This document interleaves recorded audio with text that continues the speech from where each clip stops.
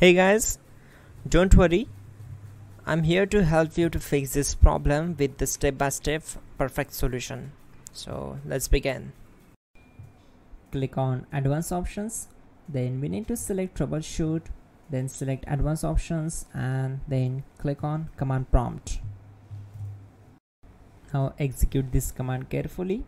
Type chkdsk slash f slash r c colon and hit enter to execute this command.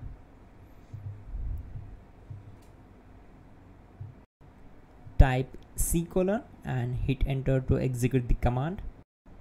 Now we need to type cd space c colon slash and hit enter to execute. Now execute this command. Type cd space windows and simply hit enter. Type cd space system32 and simply hit enter. Type in cd space config and simply hit enter to execute the command. Now execute this command carefully. Type in md space backup and simply hit enter to execute it. Now type copy space star dot star space backup and hit enter. Now type md backup1 and hit enter. Once we are here we need to execute this command. Type copy space star dot star space backup1 and then press enter from your keyboard to execute this command. Type in cd space regback then simply hit enter execute this command type dir then simply hit enter. Now execute this command type in copy space star dot star space dot dot and then hit enter. After that type all and again hit enter to execute the command. Now execute this command type bootrec space slash fix mbr and simply hit enter now execute this command. Type in bootrec slash fix boot and hit enter. Now execute this command. Cd space c colon slash. Now type this command. Cd space windows slash system32 slash config slash regback and simply hit enter to execute the command.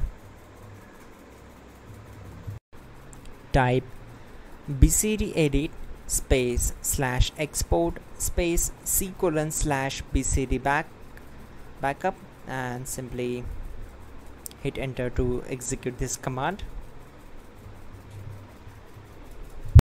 Now execute this command. Type cd space c colon slash and hit enter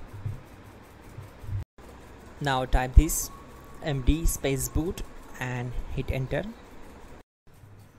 Type cd space boot and hit enter. Now type md space bcd and simply hit enter to execute this command.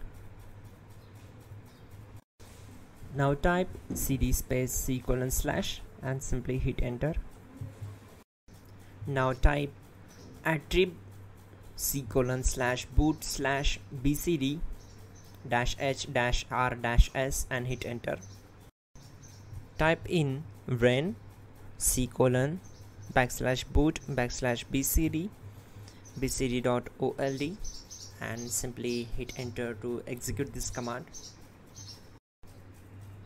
Type bootrec space slash rebuild bcd and hit enter.